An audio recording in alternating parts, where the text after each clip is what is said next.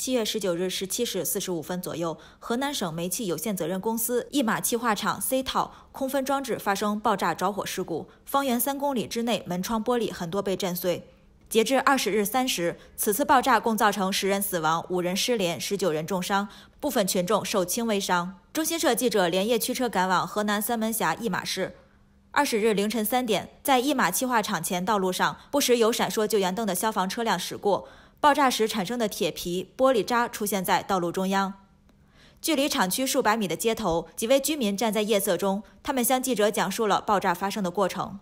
爆出呀一起起一股黑烟，每窗玻璃一下都掉下来。这是一种出煤几何被崩下来的铁，这，还有千把斤的这。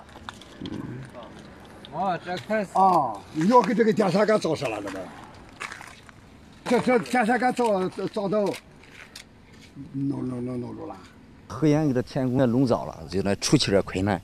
你出去我都害怕，我中途死到那儿。爆炸产生的冲击波造成部分居民家中房顶掉落、门窗玻璃破碎，也让他们在爆炸发生后的首夜无法安心。搁那儿一个是就是说这个没没地方睡，一个就是说这塌了塌了以后的这个这个地方还有进进贼，知道吧？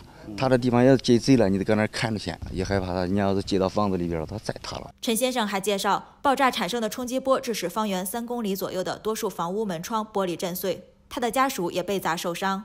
家属头上连了四针。现在情况怎么样？嗯，现在就说回回来了，回来了，明天去医院。现在人太多，到小诊所也满了，去医院当然也满了。